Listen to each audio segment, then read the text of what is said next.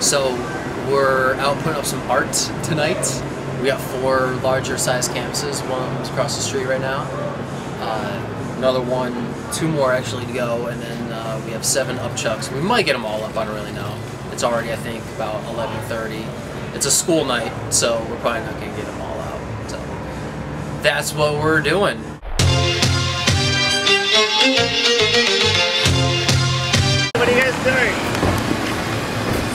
a reality show.